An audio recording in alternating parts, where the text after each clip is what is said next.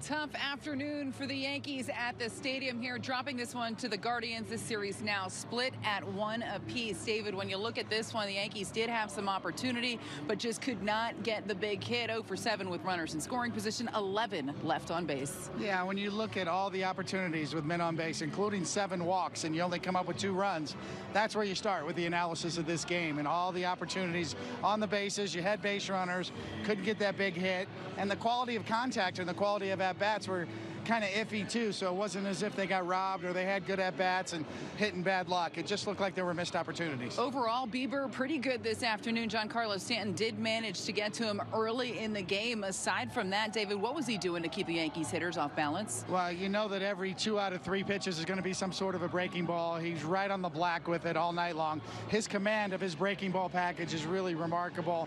The sliders, the cutters, the the curveballs that he throws just keeps a lot of hitters off balance, and he pitches in just enough to keep you honest as well. Now, there were some interesting decisions made when the Yankees got to extra innings. Aaron Boone decided to go with Jameson Taillon. He had never pitched out of the bullpen before. Do you agree with that decision with some of the arms they still had back there?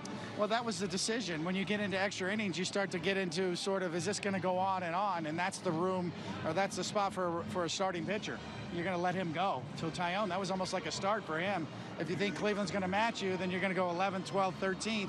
Maybe that's what uh, Aaron Boone was thinking, running and, with the starter. And you look at the Guardians there, not like he was hit particularly hard. A couple of bloop hits, unfortunate placed hits uh, for the Guardians. And then, of course, the Naylor ball was, in fact, hit hard. Now, in the bottom of the inning, Tim Locastro hit. You still had Marwin Gonzalez on the bench, Aaron Hicks on the bench. Did you expect for him to go to one of those two players? It kind of reminded me of Mariano Rivera back in the day where right-handed batters got a better look mm -hmm. off of that hard cut fastball than lefties do. And that's what I, I'm sort of uh, guessing that that was probably the thinking that maybe Locastro with his speed would get a better look, either an infield hit or on that hard Clase cutter that he might get a better swing. One thing has been noticeable so far this series, Aaron Judge has been struggling a little bit at the plate. Obviously, small sample size, just two games, but he does not look like himself, David. No, it's kind of the elephant in the room at the top of the order. I mean, you expect him to get better swings, and he's so good at working the counts and getting his share of walks. So the amount of strikeouts really kind of runs out, runs up the flagpole at you, and you, you wonder